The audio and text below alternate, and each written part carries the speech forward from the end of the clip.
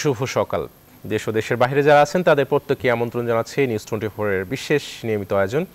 আজ সকালে বাংলাদেশ অনুষ্ঠান দেখার জন্য। প্রিয় দর্শক, আপনাদের সঙ্গে আছে আমি আহসান হাবিব। সময় গড়ায় তার নিজস্ব নিয়মে সমৃদ্ধ হয় এই মানব সভ্যতা। বিভিন্ন ঘটনা কিংবা দুর্ঘটনা, মনীষী কিংবা সাধারণের জন্ম, মৃত্যু নিয়ে তৈরি হয় ইতিহাস। ঠিক ইতিহাসের এই দিনপঞ্জি মানুষের কাছে অত্যন্ত গুরুত্বপূর্ণ ভূমিকা পালন করে থাকে।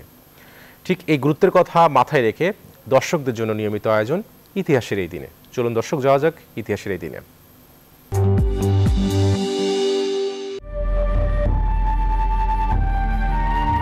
আজ শনিবার, উনিশ মার্চ দুই হাজার বাইশ খ্রিস্টাব্দ। পাঁচ চৈত্র চোদ্দশো আটাশ বঙ্গাব্দ। পনেরোই সাবান চোদ্দশো তেতাল্লিশ হিজড়ি। উনিশশো চুয়াল্লিশ সালের এই দিনে উত্তর পূর্ব ভারতে আজাদ হিন্দ ফৌজ জাতীয় পতাকা উত্তোলন করে।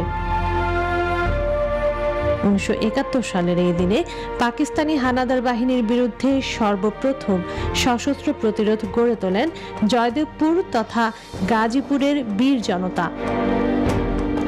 উনিশশো বাহাত্তর সালের এই দিনে বাংলাদেশ ও ভারতের মধ্যে পঁচিশ বছরের শান্তি ও মৈত্রী চুক্তি স্বাক্ষরিত হয়। দুই হাজার সতেরো সালের এই দিনে বাংলাদেশ ক্রিকেট দল তাদের শততম টেস্ট খেলে জয় দিয়ে শততম টেস্টকে স্মরণীয় করে রাখে। উনিশশো উনিশ সালের এই দিনে বাঙালি কবি, গীতিকার, নাট্যকার ও সাংবাদিক সিকান্দার আবু জাফর জন্মগ্রহণ করেন।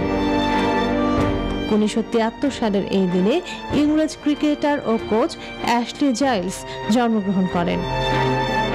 উনিশশো সালের এই দিনে ইতালিয়ান ফুটবলার আলেসান্ড্রো নেস্টা জন্ম নেন। উনিশশো চুরাশি সালের এই দিনে ভারতীয় মডেল ও অভিনেত্রী তনুশ্রী দত্ত জন্ম নেন। উনিশশো সালের এই দিনে মার্কিন সাহিত্যিক টার্জন সিরিজের জনক এডগার রাইস বারোস মৃত্যুবরণ করেন। দুই সালের এই দিনে বাংলাদেশের প্রখ্যাত কবি আবু জাফর ওবায়দুল্লাহ মারা যান। দুই হাজার ষোলো সালের এই দিনে বাংলাদেশের প্রথম নিউরোসার্জন ডাক্তার রশিদ উদ্দিন মারা যান।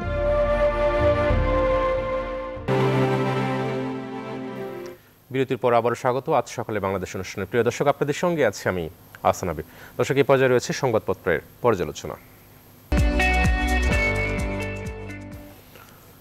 দর্শক, সংবাদপত্র পর্যালোচনা শুরু করার আগে জাতীয় দৈনিক পত্রিকাগুলোর প্রধান প্রধান সংবাদ শিরোনামগুলো আপনাদেরকে জানিয়ে দেওয়ার চেষ্টা করব। দর্শক, আজ সাপ্তাহিক ছুটির আজ ছুটির দিন হয়। আমাদের কাছে জাতীয় দৈনিক পত্রিকাগুলো, অর্থাৎ প্রিন্ট মিডিয়া থেকে প্রকাশিত হয়নি, তাই আমাদের হাতে রয়েছে অনলাইন ভাষণ পত্রিকাগুলো এবং অনলাইন ভাষণ পত্রিকাগুলোর আলোকে প্রধান প্রধান সংবাদ শিরোনামগুলো এবং তার পরিপ্রেক্ষিতে পর্যালোচনা করে দেওয়ার চেষ্টা করছি আপনাদের সামনে। দর্শক এই মুহূর্তে আমার হাতে রয়েছে বাংলাদেশ প্রতিদিন পত্রিকার অনলাইন ভাষণ। বাংলাদেশ প্রতিদিনে রয়েছে নয় হাজার বাসিন্দা মানবিক করিডোর দিয়ে সরিয়ে নিল ইউক্রেন।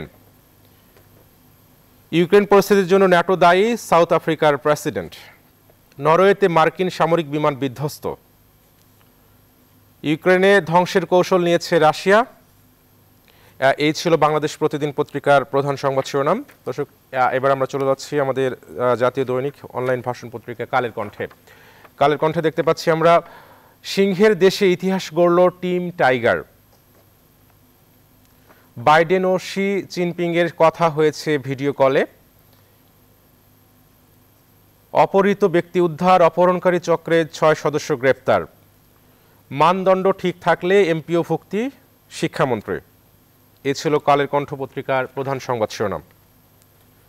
এবার আমরা চলে যাচ্ছি আমাদের প্রথম আলো অনলাইন ভার্সনে প্রথম আলো অনলাইন ভার্সনে যে প্রধান সংবাদ শিরোনামগুলো আমরা দেখতে পাচ্ছি, তার মধ্যে রয়েছে, দক্ষিণ আফ্রিকার মাটিতে প্রথম জয়, দাপুটে জয় ইতিহাস বাংলাদেশের। ইউক্রেন অভিযানের মূল লক্ষ্য, দনবাসে গণহত্যা বন্ধ করা, পুতিন। নরওয়েতে যুক্তরাষ্ট্রের সামরিক বিমান বিধ্বস্ত। কৌশলের খেলায় জিতেছেন সাকিব। মতামত, যুদ্ধ গরিবী, সাদা মানুষ ও কালা আদমি। এ ছিল প্রথম আলো অনলাইন ভাষণ পত্রিকায়। এবার আমরা চলে যাচ্ছি সমকাল পত্রিকায়। সমকালে আমরা দেখতে পাচ্ছি, মসজিদে যাওয়ার পথে গুলিবিদ্ধ ছাত্রলীগ কর্মী। মারিওপোলের কেন্দ্রে রুশ বাহিনী। দুর্দান্ত লড়াই করে দক্ষিণ আফ্রিকা জয় টাইগারদের। এই ছিল প্রধান শিরোনাম। এবার আমরা যাচ্ছি Bangla news twenty four dot কমে। Bangla news twenty four dot কমে রয়েছে, দাপুটের পারফরমেন্সে দক্ষিণ আফ্রিকায় টাইগারদের ঐতিহাসিক জয়। আরেকটা প্রধান শিরোনাম আমরা দেখতে পাচ্ছি এখানে। জুয়েলারি এক্সপো ঘিরে নতুন স্বপ্ন দেখছেন তরুণ ব্যবসায়ীরা। ইইউ এর সদস্যপদ পেতে যাচ্ছে ইউক্রেন, দাবি জেলেনস্কির এই ছিল Bangla news twenty four dot কমের প্রধান সংবাদ শিরোনাম। দর্শক, এবার আমরা চলে যাচ্ছি আমাদের জাতীয় দৈনিক ডেইলি সানে অনলাইন ভাষণে। ডেলি সানে রয়েছে, EC's task is to hold polls as per law constitution CC Bangladesh missions abroad observe Bangabandhu's one hundred and two birth anniversary Bangladesh jewellery expo sees huge visitor turn out the New York টাইমসে রয়েছে Biden warns China's of consequences if it aids Russian war এই ছিল আমার হাতের কাছে থাকা online ভাষণ পত্রিকাগুলোর প্রধান সংবাদ শিরোনাম। দর্শক, এ পর্যায়ে আমরা চলে যাচ্ছি আমাদের সংবাদপত্রের পর্যালোচনায়। সংবাদপত্র পর্যালোচনা করতে আমাদের সঙ্গে একজন অতিথি যুক্ত হচ্ছেন। আমাদের আজকের অতিথি doctor A K M Shah Nawaz অধ্যাপক জাহাঙ্গীরনগর বিশ্ববিদ্যালয়। স্যার আপনাকে স্বাগত। আমাদের আজ সকালে বাংলাদেশ অনুষ্ঠানে।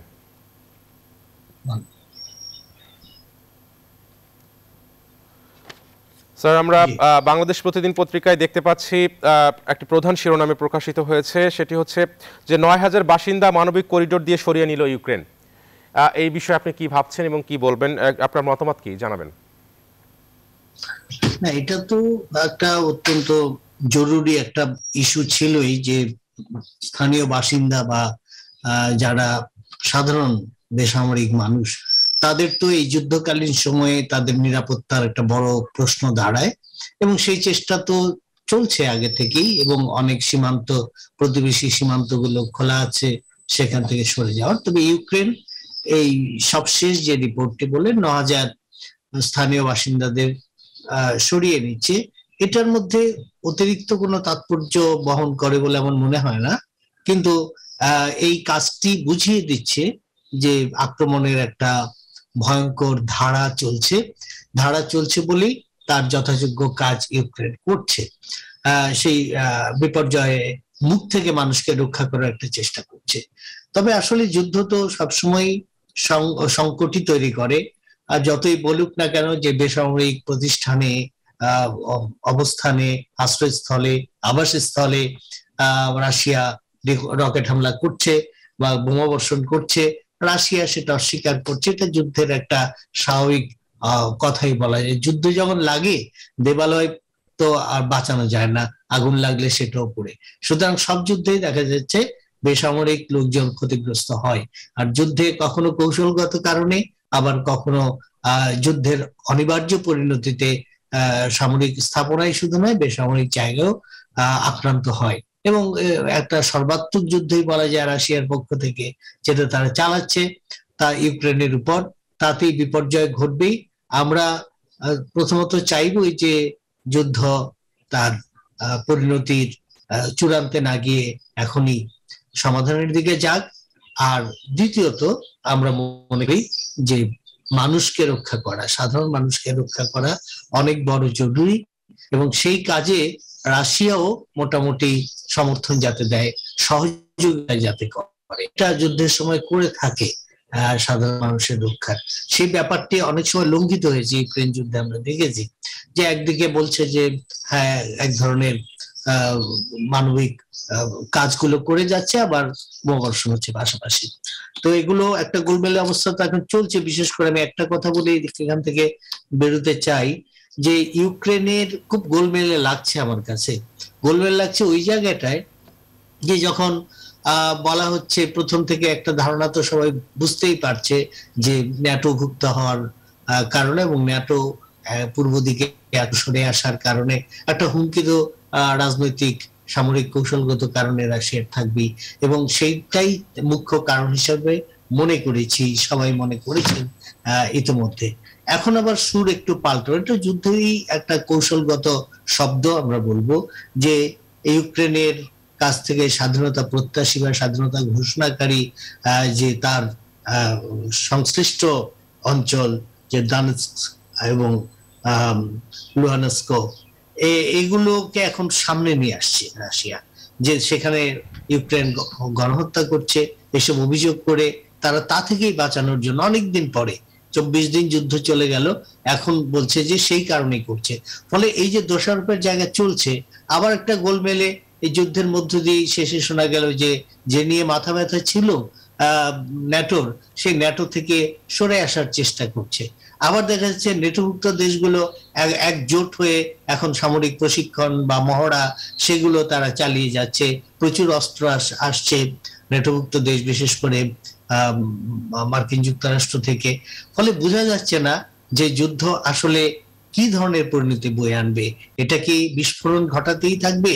না এটা একটা ব্যালেন্স অফ পাওয়ার যেটা বলি এগুলোর মধ্য দিয়ে একটা ভারসাম্য তৈরি করে হয়তো একটা শুভ ফল আসলে আসতে আমরা বুঝতে পেরেছি আমরা মানে আপনার সঙ্গে সঙ্গতি রেখে আমরা বলতে পারি যে ইউক্রেন পরিস্থিতির জন্য ন্যাটো দায়ী। ইতিমধ্যে সাউথ আফ্রিকার প্রেসিডেন্ট এই কথা বলেছেন। স্যার, আমরা আসলে আমরা চাচ্ছি যে যুদ্ধের দামামা যেন আর বেশি বেগবান না হয়।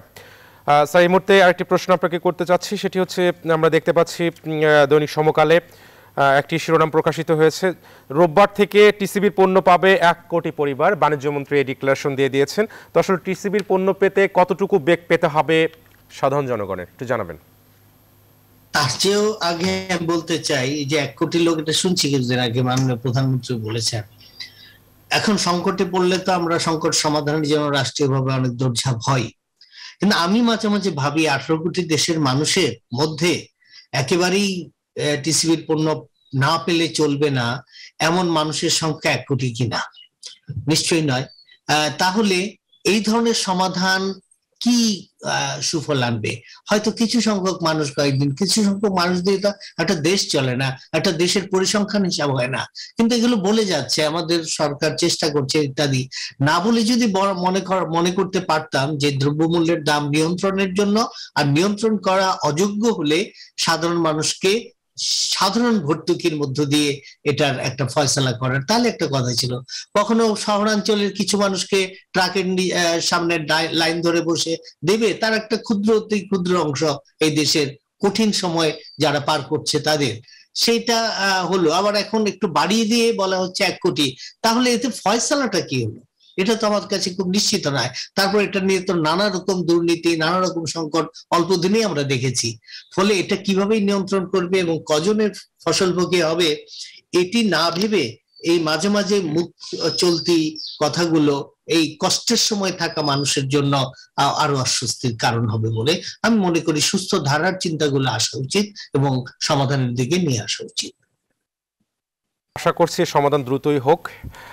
কালের কণ্ঠে আমরা একটি শিরোনাম প্রকাশিত হয়েছে দেখতে পাচ্ছি যে মানদণ্ড ঠিক থাকলে এমপিও ভুক্তি, শিক্ষামন্ত্রী কথা বলেছেন।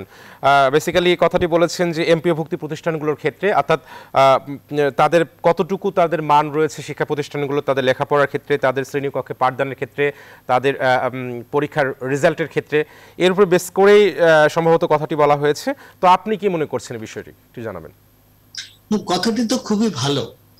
কিন্তু আমি শিক্ষার সাথে যুক্ত মানুষ হিসেবে বলব, অতীত থেকে দেখি, নিকট অতীত থেকে যদি দেখি, এসব কথাও এক ধরনের রাজনৈতিক বক্তব্য কিনা আমার খুব সন্দেহ হয়। সন্দেহ এই জন্য যে এমপি ভুক্তির যে যোগ্যতাগুলো আছে প্রথমত, সেই যোগ্যতাগুলো পূরণ করার পরেও দেখা যাচ্ছে অপেক্ষাকৃত কম যোগ্যরা স্থানীয় এমপি থেকে শুরু করে মন্ত্রী যারা ক্ষমতাশালী রাজনৈতিকভাবে, তাদের প্রভাবে তা টপকে আরেকজন এমপিওভুক্ত হয়ে যাচ্ছে, আরেকটি শিক্ষা প্রতিষ্ঠান হয়ে যাচ্ছে। এটা কিন্তু হরদম আমাদের দেশে হচ্ছে। আবার এমপিওভুক্ত হয়ে গেল, তারপরে যে ইঙ্গিতটা আমরা নিউজে পেলাম, যে সেখানে সব মানদণ্ডগুলো পূরণ করা হচ্ছে কিনা, এই পূরণটা কে নির্ধারণ করবে? এই একটা বড় প্রশ্ন কিন্তু, কারণ এই নির্ধারণের জায়গাও দেখা যায় নানা তাপ, চাপ, প্রভাব, নানা কিছু যুক্ত থাকছে। সুতরাং এই ব্যাপারগুলো সত্যিকার অর্থে যদি আমাদের শিক্ষা কিন্তু স্কুল শিক্ষা থেকে শুরু করে উপর পর্যন্ত এগুলো খুব মেধাবী চিন্তা করে আমাদের এখানে নেওয়া হচ্ছে, বর্তমান এবং নিকট অতীতের শিক্ষা সংশ্লিষ্ট যে প্রতিষ্ঠানগুলো আছে, প্রশাসন আছে মন্ত্রণালয় শব্দটা না হয় নাই বললাম। তো সেইগুলোতে কিন্তু আমরা কখনো একেবারে শিক্ষা বান্ধব নীতি নির্ধারিত হচ্ছে, এটা কিন্তু একেবারেই আমি অন্তত মনে করি ঠিক না। আমার সাথে বোধ হয় সহমত অনেকে পোষণ করবেন। যদি সত্যিই আমরা শিক্ষাকে একটা মানোন্নত জায়গায় নিয়ে আসতে চাই, তাহলে কিন্তু নানা রকম তাপ, চাপ, দুর্নীতি অথবা প্রভাব বলয় এগুলো থেকে বের করে এনে আসলে শিক্ষাকেই উন্নত করতে হবে। এরকম দৃঢ়তা নিয়ে যদি কোনো প্রতিষ্ঠান আমাদের সরকারি প্রতিষ্ঠান দাঁড়ায়, তাহলে বোধহয় হবে। এই সমস্ত বক্তৃতা মাঝে মাঝে অনেক শুনেছি, পত্রিকার পাতা সরগরম করতেও দেখেছি। এর কোনো সুফল দেখিনি। স্যার, বুঝতে পেরেছি, স্যার। স্যার আরেকটি ছোট করে, আমাদের সময় এক- একেবারে কম সেক্ষেত্রে একটি ছোট করে প্রশ্ন আপনাকে করতে চাই এবং আপনি প্রশ্নের উত্তর আপনি দিবেন ওইভাবেই সংক্ষেপে সংক্ষেপে। যে সিংহের দেশে ইতিহাস গড়ল টিম টাইগার, কালের কণ্ঠে একটি শিরোনাম প্রকাশিত হয়েছে। বেশ কিছু বেশ কিছু পত্রিকায় এই ধরনের শিরোনাম প্রকাশিত হয়েছে। তো বাংলাদেশ দলের জন্য অবশ্যই শুভকামনা। তো পরবর্তী যে ওয়ানডে অনুষ্ঠিত হবে, সেই ওয়ানডেতে আপনি কতটুকু আশাবাদী বাংলাদেশ টিমকে নিয়ে একটু জানাবেন, ছোট করে। আমরা খুব আনন্দিত, এই জন্য যে বিশ বছর পরে একটা খরা কাটলো। এবং অত্যন্ত দুর্দান্ত দুর্দান্ত পারফরমেন্স আমি খেলা, খেলাটা দেখেছি। এবং একটা জিনিস তো বারবারই প্রমাণিত হচ্ছে ওয়ানডে খেলায় তাই হয় যে তিনটা জায়গা যদি সঠিক থাকে অর্থাৎ ফিল্ডিং বোলিং এবং ব্যাটিং এটা দেখাতে পেরেছে, জয়টা ফিরিয়ে এনেছে। আবার আমরা স্খলনও ঘটে। আমরা আশা করব এই অভিজ্ঞতাটি নিয়ে তিন পর্যায়ে পরবর্তী খেলাগুলোতে এক- একই রকম অবস্থানে থাকার চেষ্টা করবে এবং সুফল আমরা নিশ্চয়ই সেই সক্ষমতা আছে বলেই সেটা আমরা বারবার প্রমাণও পেয়েছি। আমরা সেই সক্ষমতার মধ্যেই থাকতে চাই। আমি আশা করব আমাদের খেলোয়াড়রা সেই দিকে যথেষ্ট মনোসংযোগ করবে স্যার বুঝতে পেরেছি। স্যার আপনাকে অসংখ্য ধন্যবাদ। আমাদের সঙ্গে যুক্ত হওয়ার জন্য এবং আপনার মূল্যবান সময়টুকু আমাদেরকে দেবার জন্য। ধন্যবাদ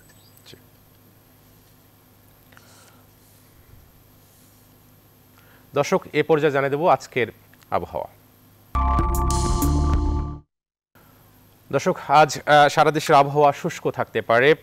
সন্দ্বীপ ও সীতাকুণ্ড অঞ্চল এবং ঢাকা, টাঙ্গাইল, ফরিদপুর, গোপালগঞ্জ, রাঙ্গামাটি, চাঁদপুর, ফেনী, সিলেট, রাজশাহী, পাবনা, বগুড়া জেলা সহ খুলনা ও বরিশাল বিভাগের উপর দিয়ে মৃদু তাপ প্রবাহ বয়ে যাচ্ছে এবং তা অব্যাহত থাকতে পারে। সারা দেশে দিন এবং রাতের তাপমাত্রা প্রায় অপরিবর্তিত থাকতে পারে।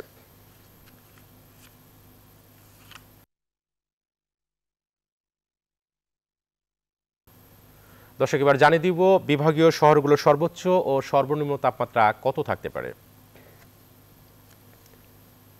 প্রথমে রয়েছে ঢাকা বিভাগ। ঢাকা বিভাগে আজ সর্বোচ্চ তাপমাত্রা দাঁড়াতে পারে ছত্রিশ দশমিক নয় ডিগ্রি সেলসিয়াস। সর্বনিম্ন তাপমাত্রা হতে পারে একুশ দশমিক ছয় ডিগ্রি সেলসিয়াস। চট্টগ্রাম চট্টগ্রাম বিভাগে আজ সর্বোচ্চ তাপমাত্রা দাঁড়াতে পারে বত্রিশ দশমিক ষাট ডিগ্রি সেলসিয়াস। সর্বনিম্ন উনিশ দশমিক পাঁচ ডিগ্রি সেলসিয়াস। রাজশাহী বিভাগে আজ সর্বোচ্চ তাপমাত্রা দাঁড়াতে পারে সাতত্রিশ দশমিক সাত ডিগ্রি সেলসিয়াস এবং সর্বনিম্ন তাপমাত্রা হতে পারে আঠারো দশমিক এক ডিগ্রি সেলসিয়াস।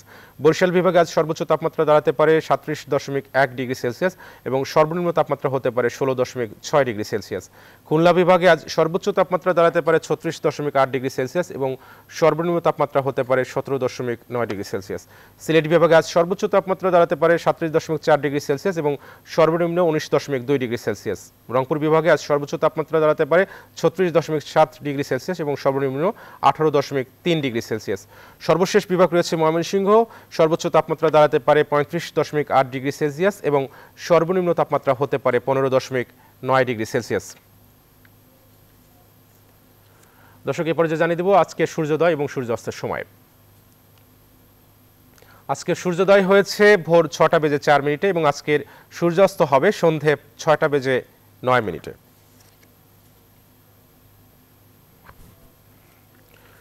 দর্শক, এ পর্যায়ে জানিয়ে দেবো আজকের রাশিফল।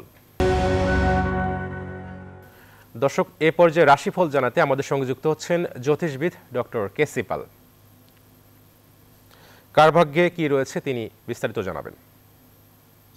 অসংখ্য ধন্যবাদ। সেই সঙ্গে নিউজ টোয়েন্টি ফোরের পক্ষ থেকে সকল দর্শকদের জন্য আন্তরিক শুভেচ্ছা, অভিনন্দন।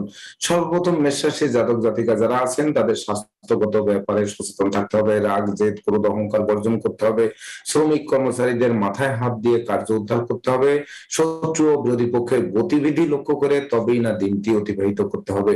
এবার বৃষ জাতক জাতিকা যারা আছেন, তাদের জন্য আজকের দিনটিতে হারানো পিতৃ মাতৃ ধন সম্পদ সম্পত্তি ফিরে পাবেন। পিতা মাতার কাছ থেকে প্রচুর সাহায্য সহযোগিতা পাবেন, এমনকি কেরিয়ার বিজনেস অর্থভাগ্যে নিত্য নতুন সুযোগ আসবে। তাছাড়া বিদেশ গমন এবং স্বদেশ প্রত্যাবর্তনের পথও খুলতে পারে। এবার মিথুন রাশির জাতক জাতিকা যারা আছেন, তাদের জন্য আজকের দিনটিতে দীর্ঘদিনের পারিবারিক কলহ বিবাদের মীমাংসা হবে। গৃহবাড়ি, অতিথি সমাগমে মুখর থাকবে, আপনাদেরকে অতিথি সেবায় ব্যস্ত থাকতে হবে, মালিক ভাড়াটিয়ার মধ্যকার মতানৈক্য দূরীভূত হবে। সেই সঙ্গে আপনাদের চৌকস বুদ্ধিমত্তার বলে সফলতার স্বর্ণ শিখরে পৌঁছাতে সক্ষম হবেন। এবার কর্কট রাশি জাতক জাতিকা যারা আছেন, তাদের জন্য আজকের দিনটিতে প্রেমিক প্রেমিকাদের প্রেম বিবাহের মাধ্যমে সমাজে স্বীকৃতি পেতে পারে, এমনকি বিবাহযোগ্যদের বিবাহে সানাই বেজে উঠতে পারে। তাছাড়া রাগ, জেদ, ক্রোধ, অহংকার অনেকাংশে কমে আসতে পারে। অনুচিত অবৈধ কাজবাজ থেকে আপনারা দূরে সরে এসে বিশেষ করে নিট অ্যান্ড ক্লিন স্বচ্ছ একটি দিন উপহার হিসেবে পেতে পারেন। এবার সিংহ রাশি জাতক জাতিকা যারা আছেন, তাদের জন্য আজকের দিনটিতে বাণিজ্যিক সকল পরিকল্পনা বাস্তবায়িত হবে। ব্যাংক ব্যালেন্স বৃদ্ধি পাবে। সেই সঙ্গে দীর্ঘদিনের ধার কর্জ ঋণ মুক্তির পথ প্রশস্ত করবে। তাছাড়া সুনাম যশ প্রতিষ্ঠার জোয়ারে ভাসাবে আজকের দিনে একটি বৃক্ষ রোপণ করলেও সেই বৃক্ষটি অদূর ভবিষ্যতে ফুল দেবে, ফল দেবে, সেই সঙ্গে সংকট কালে ছায়া দিয়ে বাঁচাবে। এবার কন্যা রাশির জাতক জাতিকা যারা আছেন, তাদের জন্য আজকের দিনটিতে মনোবল বাড়বে, জনবল বাড়বে, অর্থ বলে গ্রাম চাঙ্গা করে তুলবে, প্রেমিক, প্রেমিকার ভাঙ্গা প্রেম জোড়া লাগবে, বন্ধুত্ব পুনরুদ্ধার হতে পারে, এমনকি সহকর্মী ও অংশীদারদের পূর্ণ সহযোগিতা পাওয়ায় আজকের দিনটি মৌজ মস্তিতে উপভোগ করবেন। এবার তুলা রাশির জাতক জাতিকা যারা আছেন, তাদের জন্য আজকের দিনটিতে টাকা, পয়সা হাতে আসার আগেই খরচের খাত তৈরি হয়ে যাবে, এমনকি দিনের শেষে ধার কর্য করে বাড়ি ফিরতে হতে পারে। তাছাড়া পরিবারে কোনো বয়স্ক লোকের শরীর স্বাস্থ্য খারাপ হতে পারে, দূর থেকে কোনো অপ্রিয় সংবাদ আসতে পারে, বাড়ির ইলেকট্রনিক সামগ্রী বৈদ্যুতিক মিটার মেরামতে প্রচুর অর্থ ব্যয় হতে পারে। এবার বৃশ্চিক রাশির জাতক জাতিকা যারা আছেন, তাদের জন্য আজকের দিনটিতে ডাকযোগে চেক মানি অর্ডার বিকাশ বা নগদ অর্থ হাতে আসতে পারে। সেই সঙ্গে দূর থেকে আসা কোনো সংবাদে গোটা পরিবারে খুশির বার্তা দিতে পারে। এমনকি সম্ভাব্য ক্ষেত্রে পরিবারের ছোট্ট নতুন মুখের আগমন করতে পারে। সন্তান সন্ততিদের সাফল্যে গৌরবান্বিত হবেন। এবার ধনুরাশির জাতক জাতিকা যারা আছেন, তাদের জন্য আজকের দিনটিতে কর্ম, অর্থ, সুনাম, যশ প্রতিষ্ঠার দিক বিদিক ছড়িয়ে পড়বে। সেই সঙ্গে ধর্ম প্রচার ধর্মের প্রসারে নিজেকে নিয়োজিত করবেন। দীর্ঘদিন ধরে যারা লটারি, শেয়ার বাজার ব্রোকারি দালালি কন্ট্রাক্টরি ব্যবসায় নিযুক্ত আছেন, তারা ঝোপ বুঝে কোপ মারুন। আজকের দিনটি আপনাদের জন্য। ভবিষ্যৎ ভিত করে দেবে। এবার মকর রাশি জাতক জাতিকা যারা আছেন, তাদের জন্য আজকের দিনটিতে ভাগ্য লক্ষ্যে আপনাদের লক্ষ্মীর ভান্ডারকে পূর্ণ করে দেবে। সেই সঙ্গে সুখ, শান্তি সমৃদ্ধির জোয়ার বয়ে দেবে। এমনকি বিশেষ করে সম্পত্তি সংক্রান্ত দীর্ঘদিনের ঝামেলার মীমাংসা হবে। নতুন বাহন এবং বাড়ি বদলের জন্য দিনটি রেকর্ডীয় দিবস হিসেবে গণ্য হতে পারে। এবার কুম্ভ রাশির জাতক জাতিকা যারা আছেন, তাদের জন্য আজকের দিনটিতে বিশেষ করে শত্রু ও বিরোধী পক্ষের আনাগোনা বাড়বে, লোকে ভুল বুঝবে, সন্দেহের চোখে দেখবে, অযাচিত অনাকাঙ্ক্ষিত ঝামেলা এড়াতে ভিড় ভাড় মিছিল, মিটিং বর্জন করতে হবে। সেই সঙ্গে আগুন, বিদ্যুৎ থেকে সতর্ক থাকতে হবে আর দুই চাকার বাহন বর্জন করতে হবে। এবার সর্বশেষ রাশি, মীন রাশি জাতক জাতিকা যারা আছেন, তাদের জন্য আজকের দিনটিতে জীবন সাথী ও শ্বশুরালয় থেকে প্রচুর সাহায্য, সহযোগিতা পাবেন। সন্তান, সন্ততির আগাবহ হয়ে থাকবে, প্রেমিক, প্রেমিকার প্রেমের স্বীকৃতি মিলবে। সপরিবারে কাছে পিঠে ভ্রমণ করার সম্ভাবনা অনেকাংশে বেশি। রাশিফল সংক্রান্ত তথ্য এ পর্যন্তই। কেসিপাল, আপনাকে ধন্যবাদ। দর্শক, রাশি সংক্রান্ত যাবতীয় তথ্য জানাচ্ছিলেন জ্যোতিষবিদ ডক্টর কেসিপাল। আজ সকালে বাংলাদেশ অনুষ্ঠান এ পর্যন্তই। সে পর্যন্ত সবাই ভালো থাকবেন, সুস্থ থাকবেন, নিরাপদে থাকবেন এবং অবশ্যই স্বাস্থ্যবিধি মেনে চলবেন।